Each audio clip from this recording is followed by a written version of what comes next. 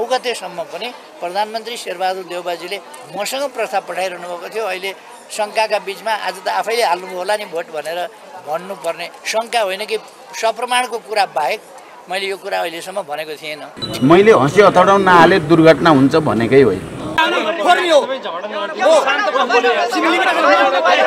गठबन्धनले जित्नेमा तपाईँ ढुक्क हुनुहुन्छ? एकदम म शत प्रतिशत ढुक्क छु गठबन्धनले जित्छ। ज्योतिषशास्त्र अनुसार तपाईँको जित सुनिश्चित छ कि छैन hundred percent hundred percent.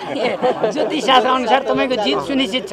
Hundred पर्सेन्टै छ त्यो मैले केही नगरेको भए मौन बस्ने मतदान केन्द्रमा जाने यसो घामतिर फर्किने कर्म गर्ने। अब धेरै दिन कुर्न पर्दैन एक दुई दिन कुर्यो भने एक दुई दिन नभन हप्ता दिन जति मात्र कुर्यौँ भने पनि त्यसको रिजल्ट आइहाल्छ। प्रधानमन्त्री शेरबहादुर देउवाले डडेलधुरामा उहाँले शङ्काकै विषयमा निर्वाचन आज आफैले मतदान गर्नु भएको छ भन्ने खालको अभिव्यक्ति दिनुभएको छ। यो प्रश्न कतिको सान्दर्भिक हुन सक्छ? काठमाडौँको कतिपय मेन स्ट्रिम मिडियाबाट यो तोडमोड गर्यो त्यो सत्य होइन। यो निर्वाचन दुई महिना अगाडि भइसक्नुपर्ने निर्वाचन हो तर पनि ढिलो गरेर भए पनि समयभित्रै भएको छ। र जनतामा निर्वाचनको व्याग्र प्रतीक्षा थियो र उत्साहका साथ सहभागिता रहेको छ। मैले विभिन्न ठाउँको निर्वाचनको जन उत्साहलाई मतदानमा जनसहभागिता उत्साह कस्तो छ त्यसलाई रिपोर्ट लिँदा अत्यन्तै राम्रो उत्साहका साथ जनताले सहभागिता जनाएको छ। केही ठाउँमा पाँच गठबन्धनको तर्फबाट आक्रमण गर्ने कामहरू भइरहेको छ र अत्यन्तै लोकतान्त्रिक संस्कार मूल्य मान्यताको अभाव हो त्यो व्य- व्यवहारको अभाव हो। चुनावभन्दा अगाडिदेखि पनि उहाँहरूको त्यस्तै खालको रवैया विभिन्न ठाउँमा घरैमा गएर आक्रमण गर्ने खालका थिए जो दुःखद कुरा हो। लोकतन्त्र एउटा पार्टीले जित्छ कि जित्दैन भन्ने होइन। लोकतन्त्रले जित्नुपर्छ। हामीले लोकतान्त्रिक अभ्यासलाई स्वस्थ लोकतान्त्रिक परिपाटी र तरिकाबाट अगाडि बढाउनुपर्छ। तर त्यस ठाउँमा अब गीत पनि जसरी नै जित्नुपर्छ अरू कुरै छैन भनेर गाउने मान्छेलाई त्यस ढङ्गले ट्रेन गर्ने र अगाडिदेखि चौसठीको निर्वाचनमा हामीले कसरी गरेका थियौँ गर्ने नगर्ने सबै गरेका थियौँ बुथ कब्जा गरेका थियौँ त्यसरी जितेका थियौँ। त्यसरी जितिएको थियो। पछि हामी चाहिँ त्यसो गर्न छोडेर बिग्रियौँ भन्ने नेताहरूकै अभिव्यक्ति तपाईँहरूले सुन्नुभएको छ। केही स्कुलिङ केही प्रशिक्षणबाट कार्यकर्ताहरूलाई प्रशिक्षित गर्न खोज्दा केही ठाउँहरूमा अलिकति अवाञ्छनीय खालका घटनाहरू भएका छन् जो उपयुक्त होइनन् उचित होइनन्।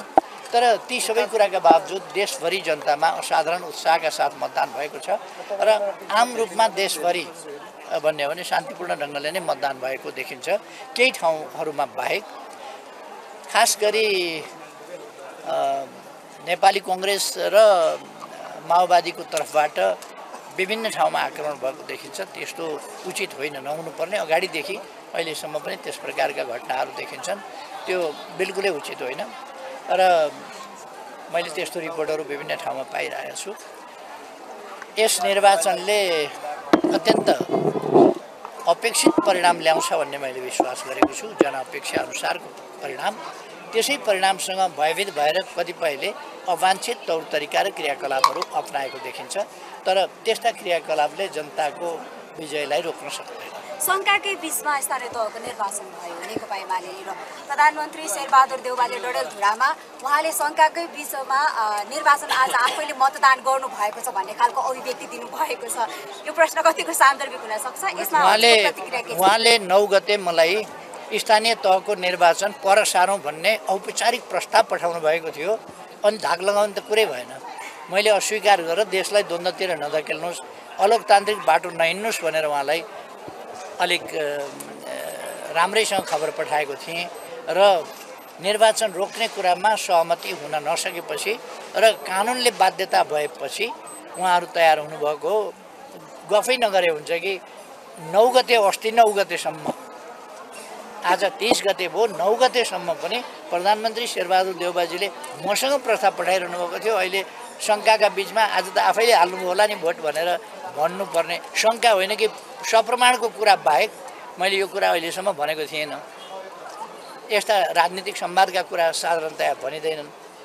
तर अब निर्वाचन सम्पन्न हुने स्थितिमा पुग्दाखेरि त यो भनिरहनु भन्दाखेरि पनि केही फरक नपर्ने भएको हुनाले भन्दा पनि हुन्छ। त्यस कारण उहाँहरूको नियत पहिले पनि हामीले देखे हो। गठबन्धनका अनेक नेताले आगामी चैत्रमा मात्रै निर्वाचन गर्नुपर्छ सबैले सुनेकै हो। अनि उहाँहरूले प्रयास यतिसम्म कि मुद्दामा गएर हुन्छ कि झगडा गरेर हुन्छ कि अनेक त गर्नै भएको हो नि। त्यस कारण यो यो सब केही होइन।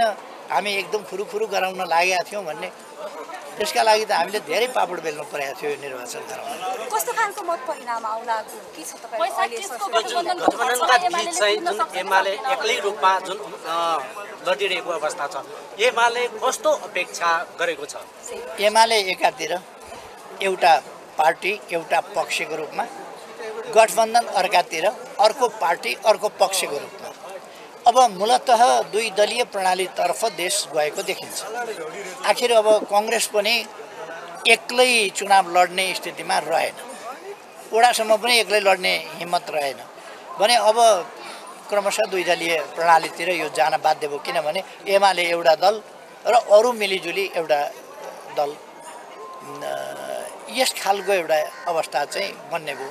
त यो हामीलाई एउटै दल उहाँहरूले बनाएर आए पनि वा विभिन्न दल भनेर कच्याङ कच्याङ गर्दै हामीसँग चाहिँ संयुक्त भएर मुकाबला गरे पनि केही फरक पर्दैन। हामी आफ्नो तयारीमा छौँ हाम्रो एउटा दल एउटा चुनाव हामी आफ्नो ढङ्गले लड्छौँ र विजयको बारेमा अब मैले मतदाता प्रभावित गर्नु पनि छैन केही गर्नु छैन। अब लगभग बाक्सामा मत परिसकेका छन् अलिअलि पर्न बाँकी छ। ती मत पनि पर्ने नै छन्। त्यस कारण मैले अब कुनै केही भनिरहनु नै पर्ने छैन। परिणाम तपाईँहरूलाई बताइदिउँ नेकपा एमालेको पक्षमा आउँछ। त्यो भनेको पर्सेन्टेजको हिसाबले? अब परिणाम आउनै दिउँ न अब के हो त? अनुमान। राम्रो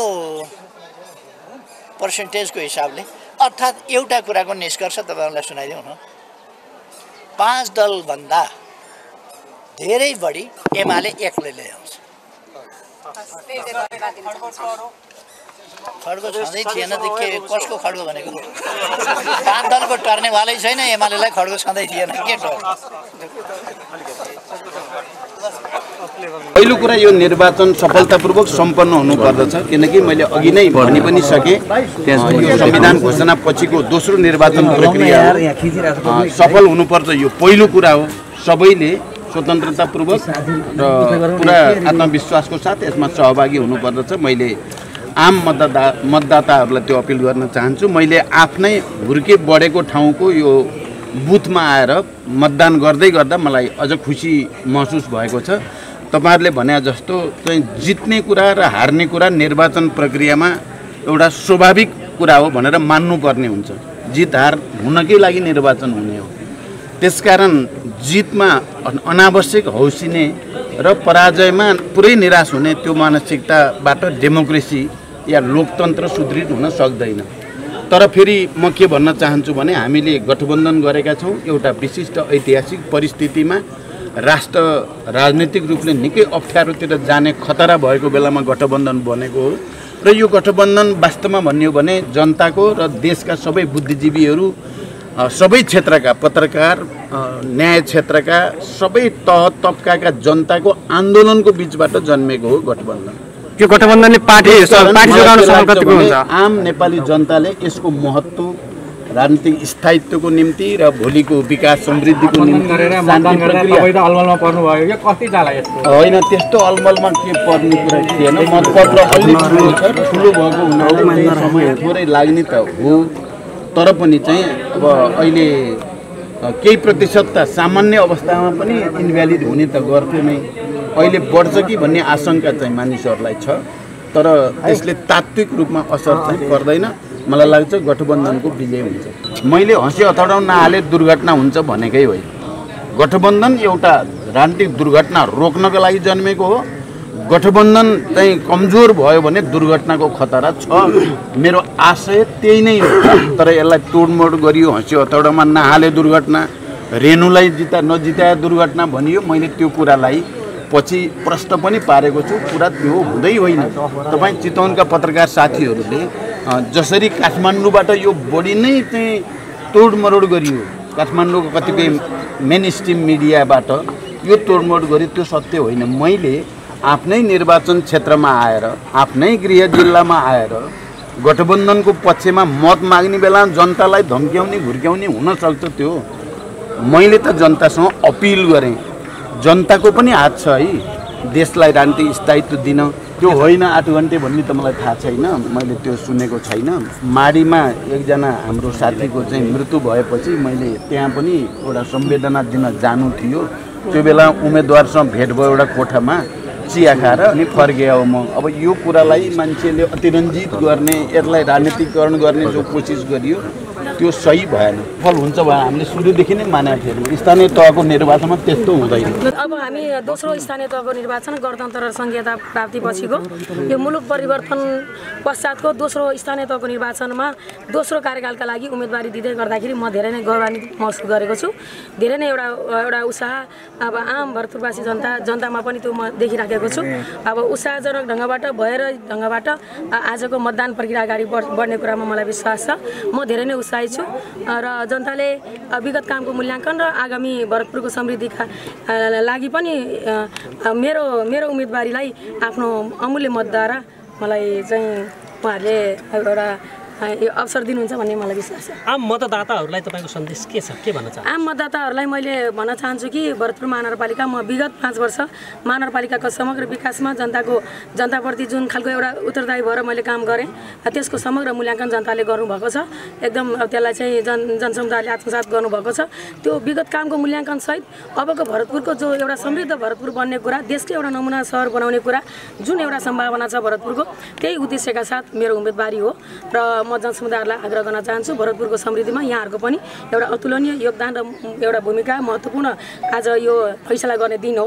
यो दिनमा आफ्नो मतलाई यतिकै होइन कि स- सोच विचार गरिकन विवेकको प्रयोग गरिकन भरतपुरको विकास र भोलि भरतपुरको खुसी र समृद्धिको पक्षमा मतदान छ। अब यसपछि म अब विभिन्न मतदान केन्द्रहरूमा जान्छु विभिन्न वडाका मतदान केन्द्रहरूमा। हामी मेयर उमेर गठबन्धनका उम्मेदवार होइन? हामी सबै चाहिँ बुथ केन्द्रहरूमा हामी जाने कार्यक्रम। गठबन्धनले जित्नेमा तपाईँ ढुक्क हुनुहुन्छ? एकदम म शत प्रतिशत ढुक्क छु गठबन्धनले जित्छ। अहिलेको एउटा चाहिँ राष्ट्रिय राजनीतिको एउटा आवश्यकताले यो गठबन्धन भएको छ। यसको एउटा एउटा अर्थ र महत्त्व एउटा राष्ट्रिय राष्ट्रिय अभिभारा र त्यो जिम्मेवारी बोधका साथ यो बनेको गठबन्धन हो। यो गठबन्धन अहिले स्थानीय तहको निर्वाचन भोलिसम्म पनि यो रा यो मुलुकमा यो हामीले प्राप्त गरेका उपलब्धिहरू शान्ति र संविधान यो लोकतन्त्र यो गणतन्त्र सबै उपलब्धिहरूको रक्षार्थ रक्षाका लागि पनि यो गठबन्धनको आवश्यकता महसुस भएर यो बनेको हो। यसर्थ गठबन्धनले जित्ने कुरामा म ढुक्क छु। आगामी दिनमा पनि यो गठबन्धन यो देशका लागि आवश्यकतालाई ध्यानमा राखेर यो गठबन्धन दिगो जान्छ भन्ने कुरामा पनि मलाई विश्वास छ।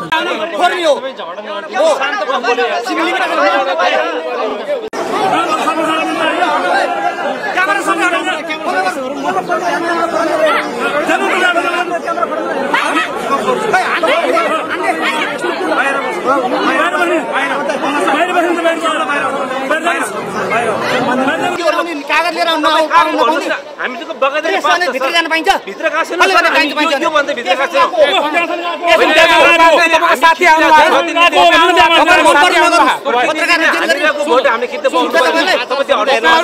भित्र आउनु ठिक छ। यसले के भन्छ? यसले के भन्छ?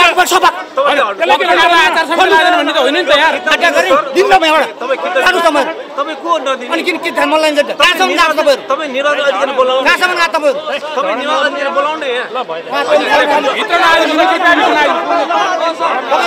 पुलिस के गरे हो यो तपाईँले चाहिँ के गरे हामीलाई तपाईँ किन लिमिटेसन? एउटा हुन्न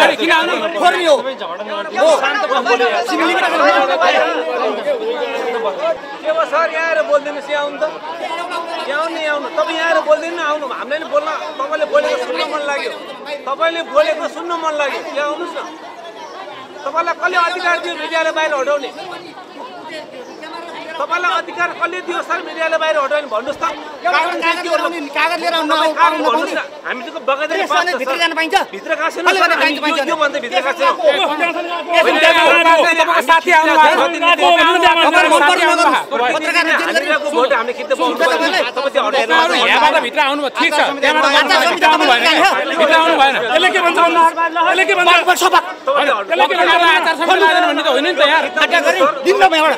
होइन तपाईँ को नदिने अनि किन के ध्यान मलाई दिन्छ कहाँसम्म गएको तपाईँहरू तपाईँ अधिकारी बोलाउनु कहाँसम्म गएको तपाईँहरू तपाईँ निर्वाचन अधिकारी बोलाउनु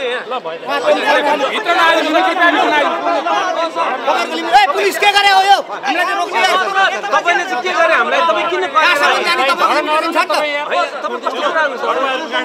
एउटा लिमिटेसन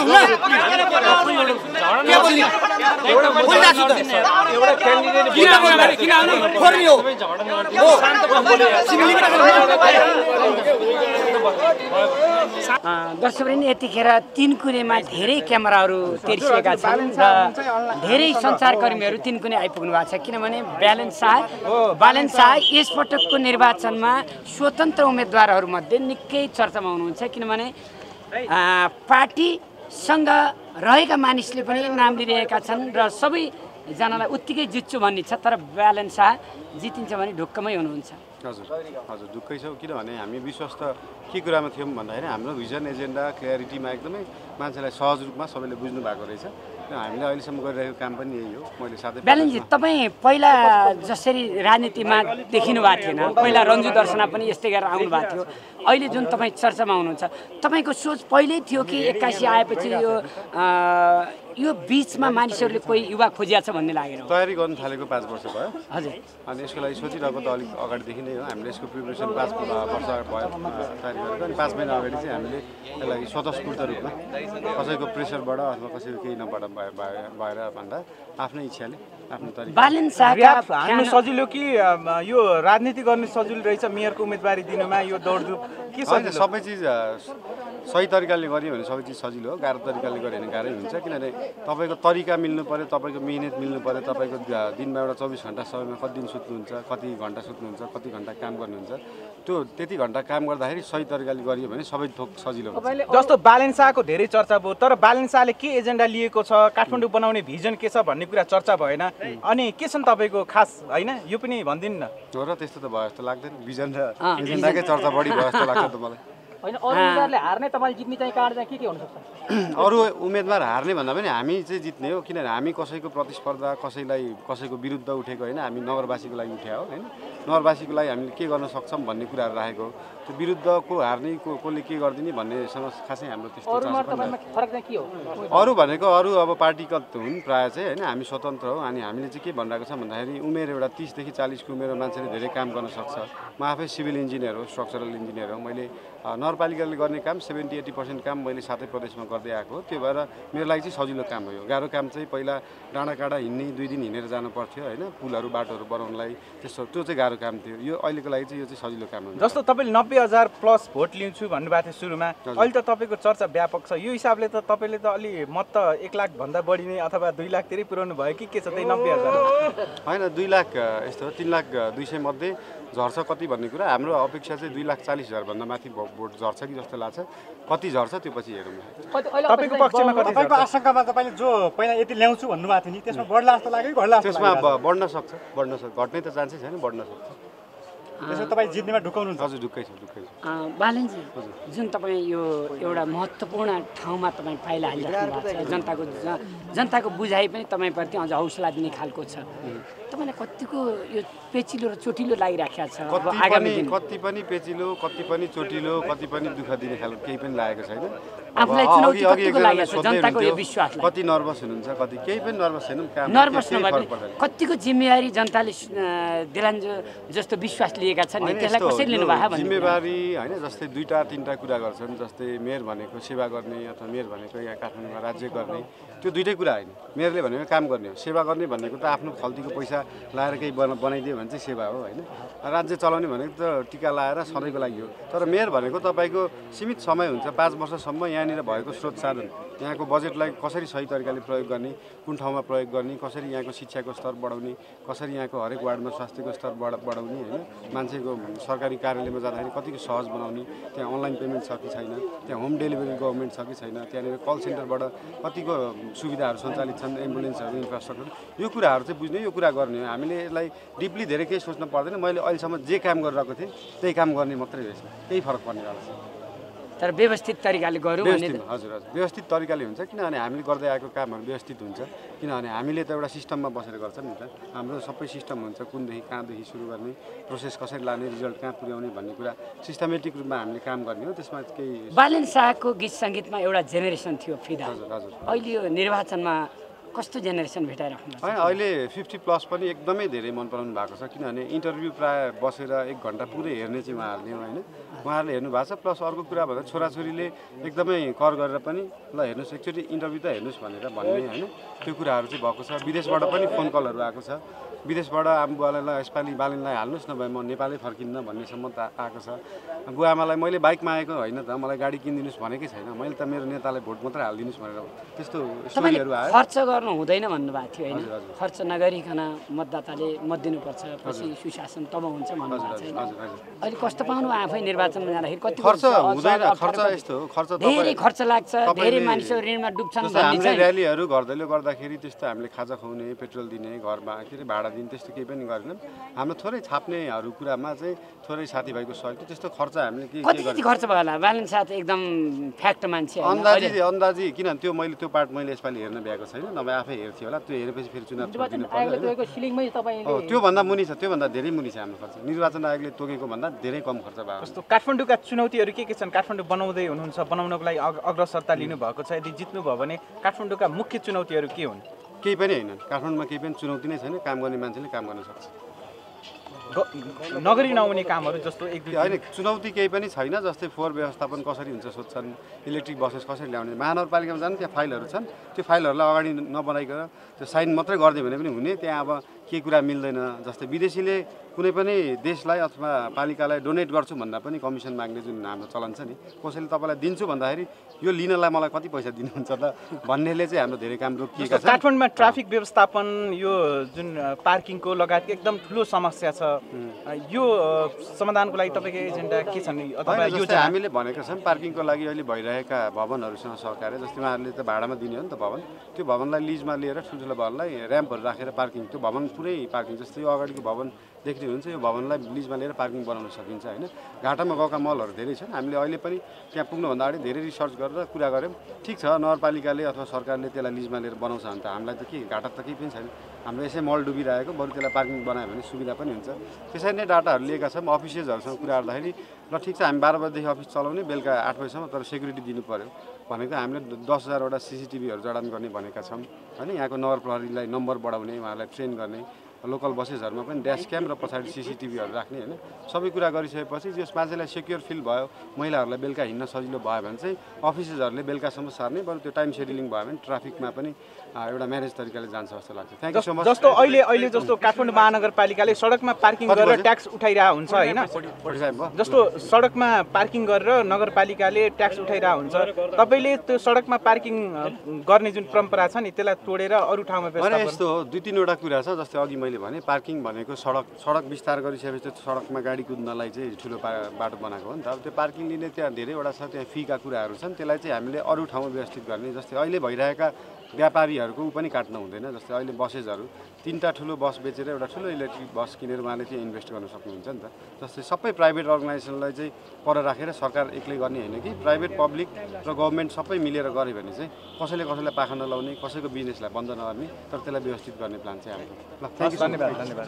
धेरैजना हिँडेर मतदान दिन आइरहनु भएको छ। त्यो देख्दाखेरि निकै नै खुसी पनि छु र साथसाथै जतिजनाले हेरिरहनु भएको छ आफ्नो अधिकारको चाहिँ सदुपयोग गर्नुहोला आफ्नो राइटको युज गर्नुहोला आज तपाईँहरूको मत निकै नै महत्त्वपूर्ण छ।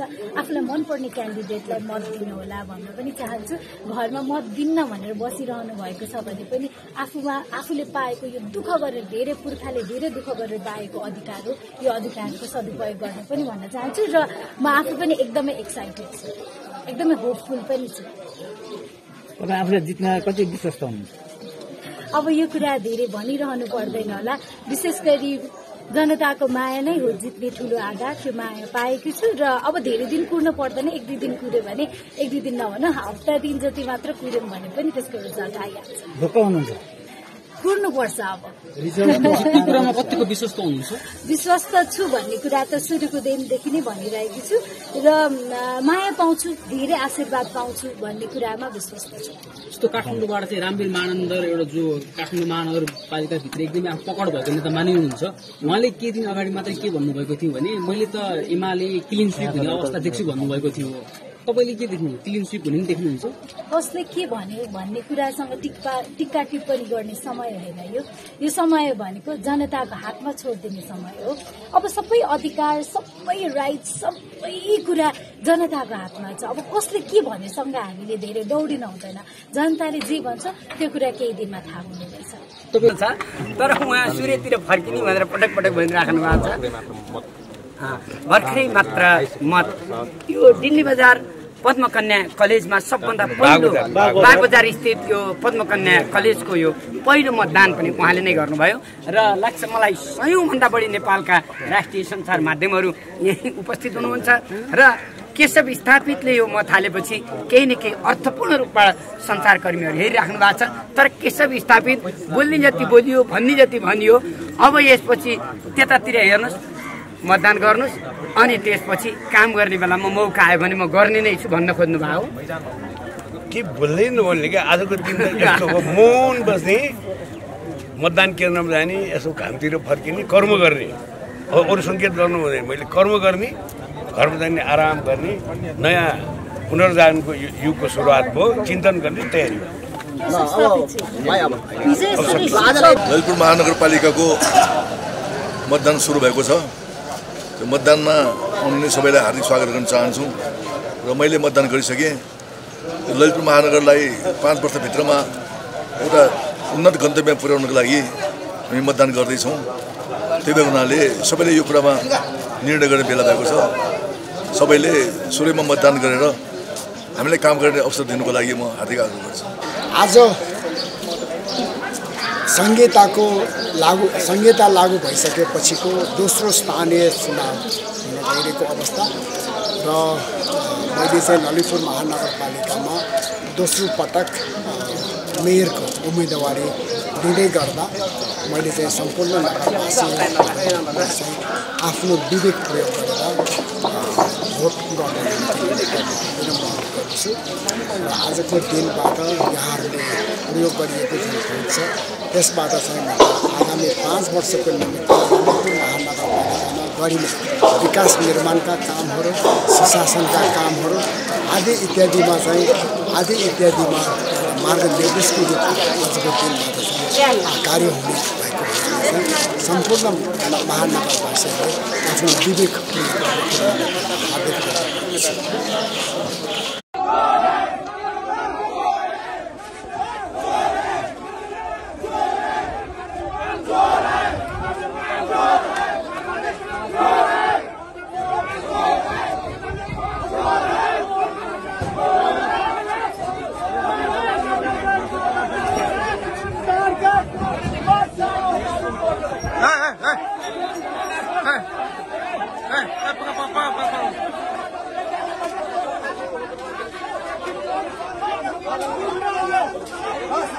हार्दिक